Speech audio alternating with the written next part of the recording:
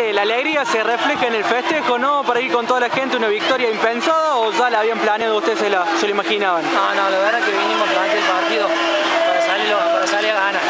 Así que la verdad que muy contento porque se dio. Eh, por ahí supimos aprovechar el hombre de más, pero también cuando estábamos 11 contra 11 creo que, que fuimos superiores. Después lo vamos a ver, pero para mi entender me parece que fuimos superiores. ¿Sorprende que Peñarol juegue y no tanto sea el equipo de arriba de las primeras temporadas?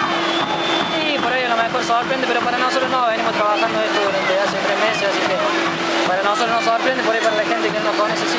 Un equipo que tiene jugadores de primer nivel, ¿qué tuvo Peñarol para llevárselo hoy? Personalidad, creo que le vinimos a plantear igual igual un partido de, de visitante, siendo el rival a vencer de la categoría, ya siendo uno de los más grandes y jugamos de igual igual. Cuarta fecha, invicto, ¿esperaban esto? Sí, uno cuando empieza siempre espera lo mejor. Por ahí se da, por ahí no se da, pero la verdad que contento por esto.